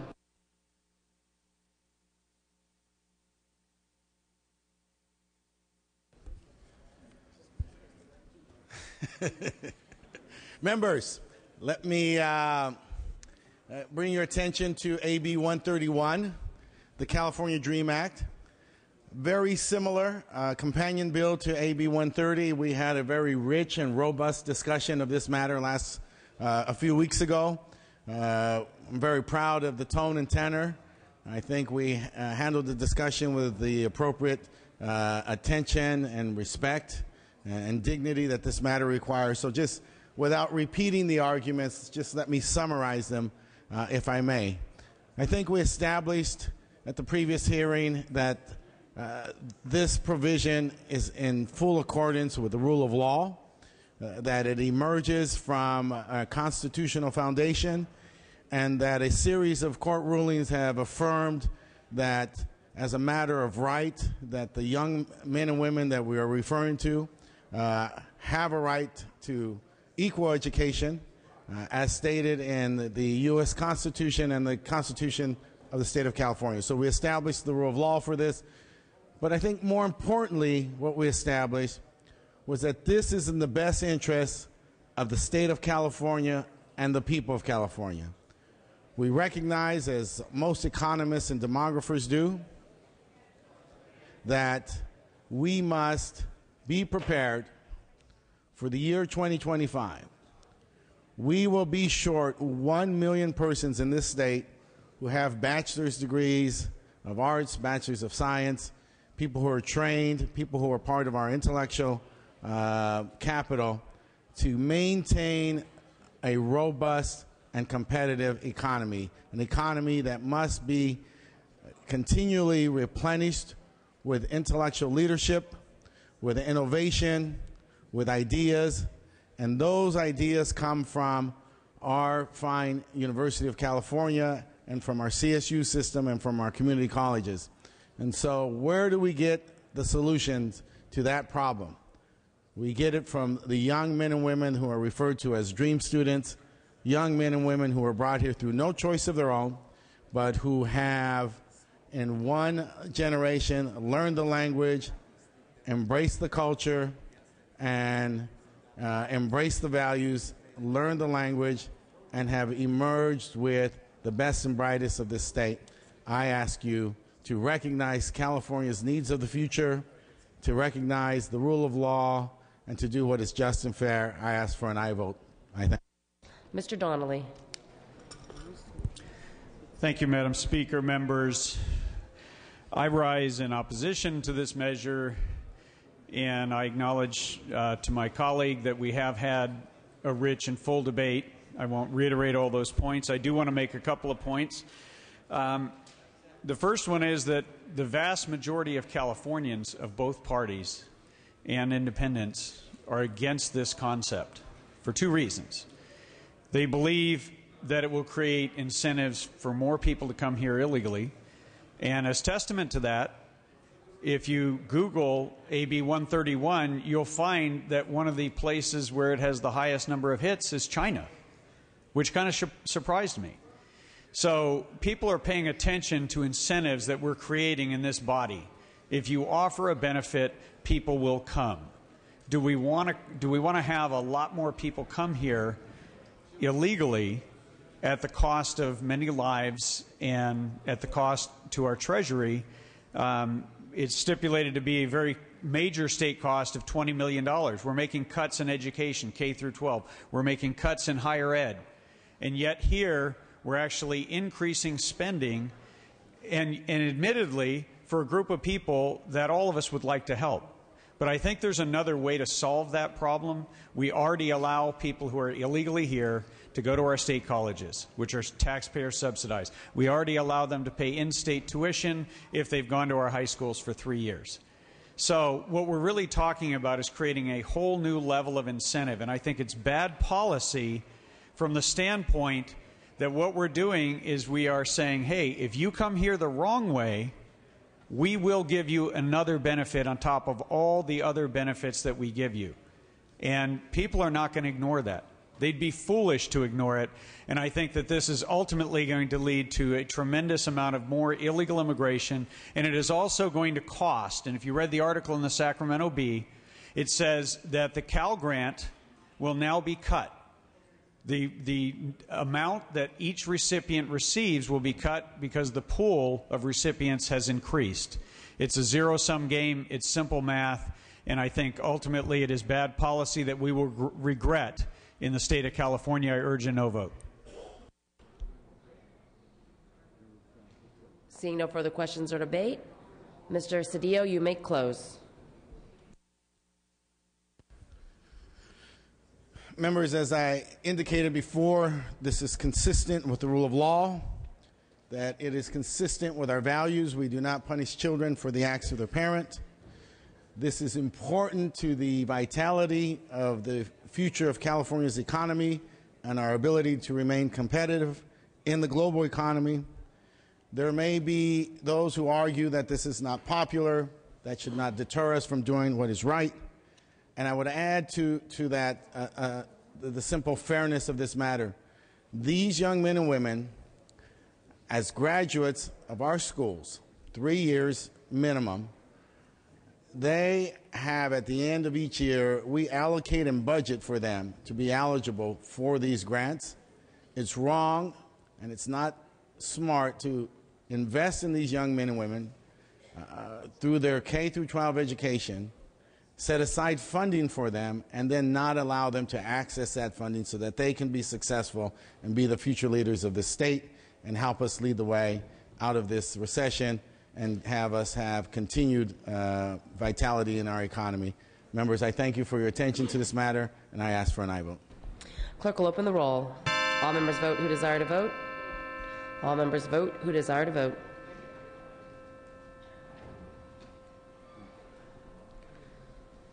Clerk will close the roll, tally the votes. Ayes 46, noes 25. Measure passes. File item 35, pass and retain. File item 36, pass temporarily. File item 37, AB 1017. Clerk will read. Assembly Bill 1017 by Assemblymember Ammiano, an act relating to marijuana cultivation.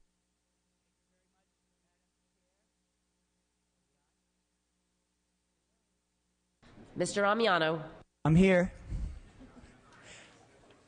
I was thinking this bill is 1017, deals with marijuana, but uh, maybe it should be 420. Mr. Davis, hope I have the same amount of luck. I bring you, uh, I bring before you today 1017. This measure would vest the local district attorney the trust and discretion to decide on a case by case basis whether individuals arrested for cultivation of marijuana should be charged at a felony or a misdemeanor level, depending upon the specific circumstances of each case. In other words, a wobbler. I want to stress this is not a penalty reduction, and this is not about legalization. Uh, if a DA decides that he or she wants to continue to charge all cases in his or her county as felonies, then they may continue to do so. The measure is long overdue uh, for many reasons. Prison beds are extremely overcrowded. Uh, and prisons must be reserved for violent and high level drug offenders.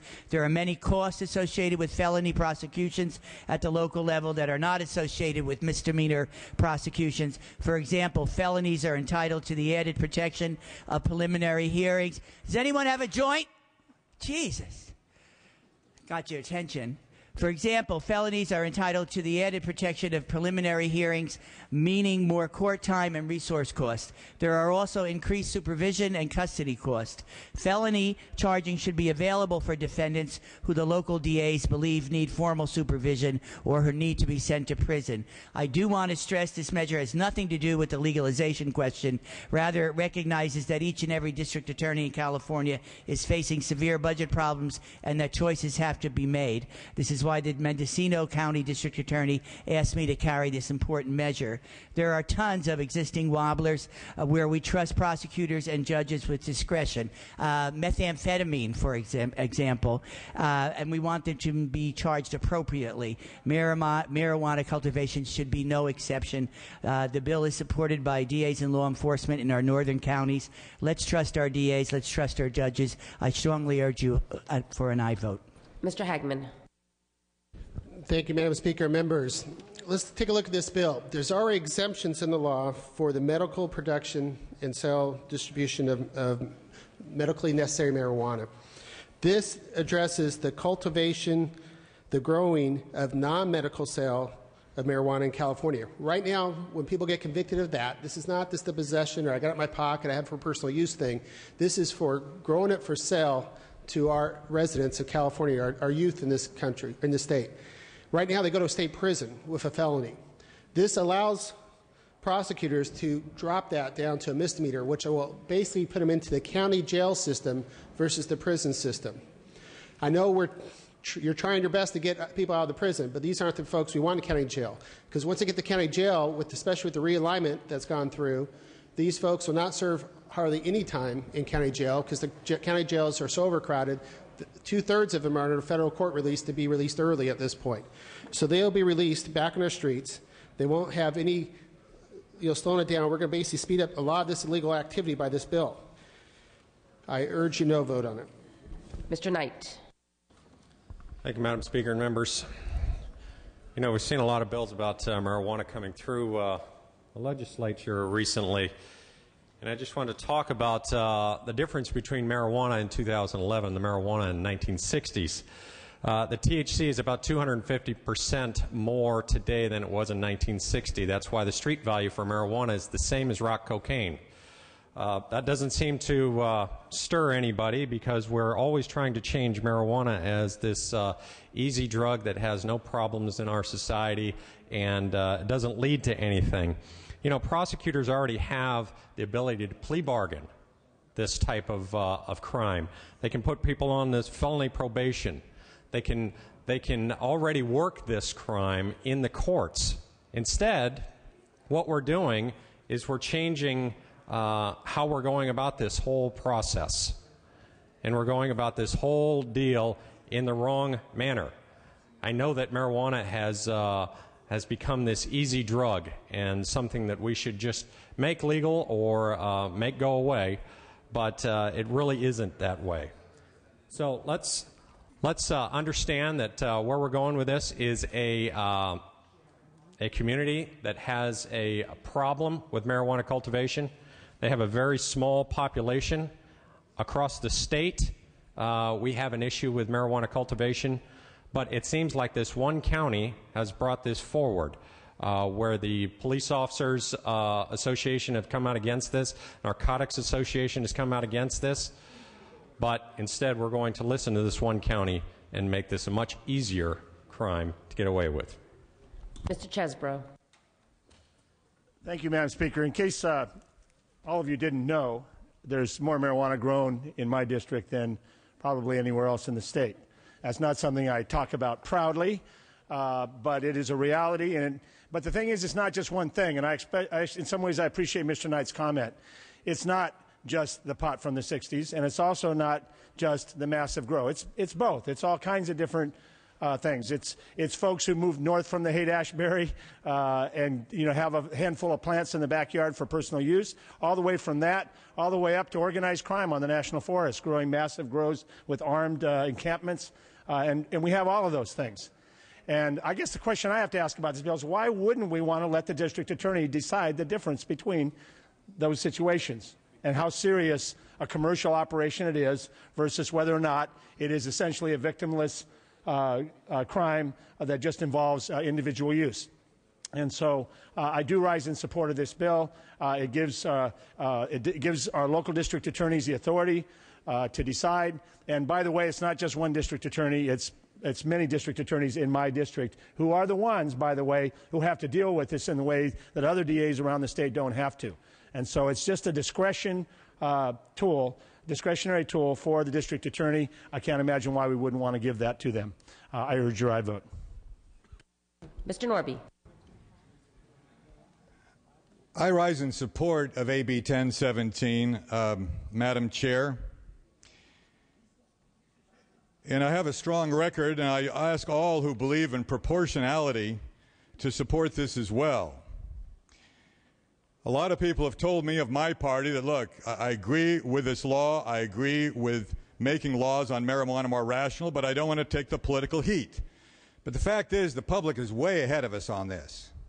I remember in 1996, when as mayor of Fullerton, I was one of probably the only Republican mayor in the state that endorsed Prop 215. And I was told by some of my friends of my party, they're going to kill you in the next election on this. Well, they didn't because it passed in my city. It passed in my county. Didn't take a single political hit on it. 19, uh, 2005, when we, the most Republican urban county, in California, Orange County passed unanimously a medical marijuana ID card among the County Board of Supervisors. Our district attorney opposed it. Our sheriff supported it. And we were also told you're going to get hits on this in the next election because this is all about being soft on pot. And of course, the next election, they hit me with everything they had and a lot of stuff they didn't, but they didn't hit me with this because it wouldn't stick. And I would submit to those in my party if you really believe that growing a pot plant deserves three years in state prison and that that is an adequate punishment and that the taxpayers should pay $150,000 to put somebody away for growing a plant, then oppose this. But if you're just thinking about the political aspects, the public is supportive of us. This is our issue and it should be our issue as freedom loving conservatives. And we won't be alone. And I would ask, not as a challenge, but I would ask my Democratic colleague who's supporting this to name the same number of distinguished Democrats that support more rational marijuana policies. I'll name you the Republicans, some of whom have gone a lot further than I've gone so far on this, but they include William F. Buckley, George Shultz, former Secretary of State, Congressman Dana Rohrabacher, Ron Paul, Tom Tancredo, Milton Friedman, Nobel Prize winner. They include New Mexico Governor Gary Johnson and President of the Americans for Tax Reform, Grover Norquist. All people who believe that our marijuana policies should be more rational. I've made many speeches here against the nanny state, whether it's ski helmets for kids or other things.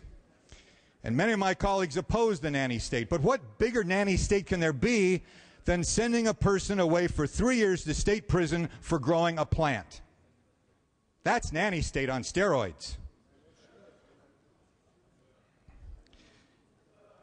$3.5 million it will save us. Now, my caucus staff is recommending against this, but even they're saying it will save the taxpayers $3.5 million.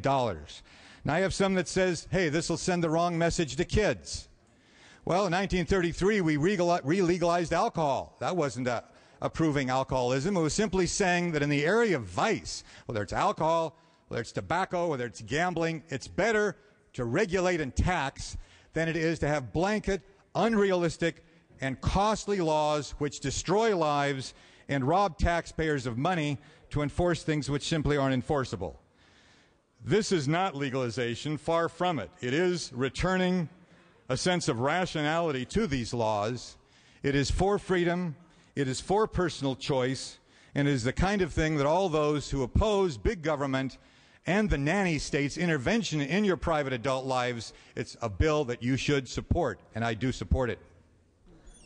Seeing no further questions or debate, Mr. Ammiano, you may close. Thank you very much. Thank you, colleagues, uh, for uh, this debate. And uh, Mr. Norby, I think maybe you missed your calling. You should have been at the roast last night and delivered a few of your lines. I want to say that this is not about marijuana. This is about marijuana policy. Let's face it, folks. It may make some of us uncomfortable, but Mr. Norby is right. Prop 19 got more votes than Meg Whitman last year. The, so how are we how are we going to deal with this issue? This isn't about I support marijuana, I don't support marijuana. This is about an effective policy, and obviously, what is happening now uh, has failed. So this gives some DAs a discretion. Nobody gets a free pass here. A misdemeanor is still something uh, that has to be dealt with in a person's life, and it's not just the size of the uh, of the grow either, because we are told by the Republican sheriff uh, in, in Del Norte, I believe he represented that it's if there's recidiv, if there's a lot of repeats, even if it's a small grow for uh, personal recreational use, then that person will, will get the felony. So uh, again, if you look at methamphetamine, we've we've had very very passionate discussions about that and what it's doing to our social structure. That is a wobbler. So if there is a, if there is in the mind of a district attorney or a judge that a more effective policy would be not one one glove fits all, then let's give him that discretion. I strongly urge your aye vote. Clerk will open the roll. All members vote who desire to vote. All members vote who desire to vote.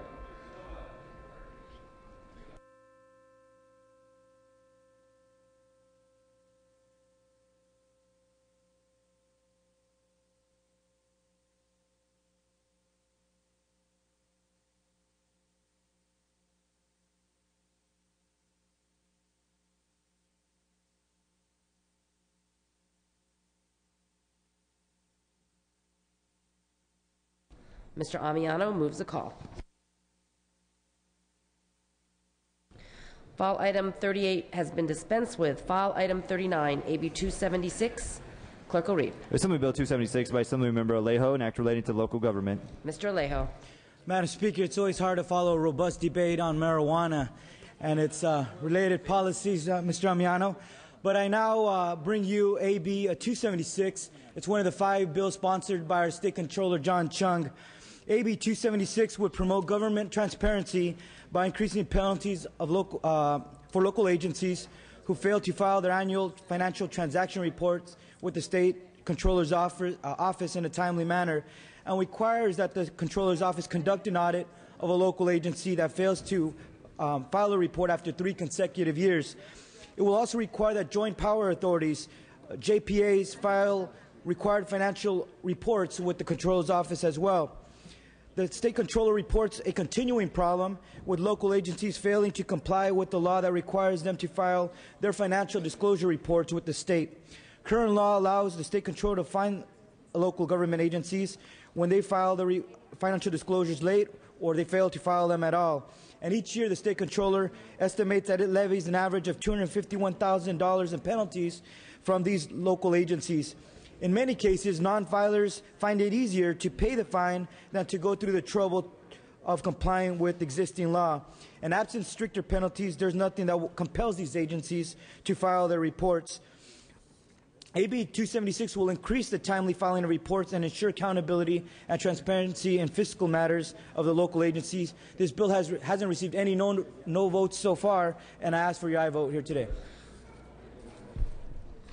Seeing no further questions or debate on this support support bill, clerk will open the roll. All members vote who desire to vote. All members vote who desire to vote.